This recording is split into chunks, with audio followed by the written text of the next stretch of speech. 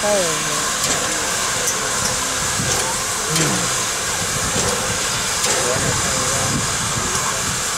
you know what? No, he said it was going to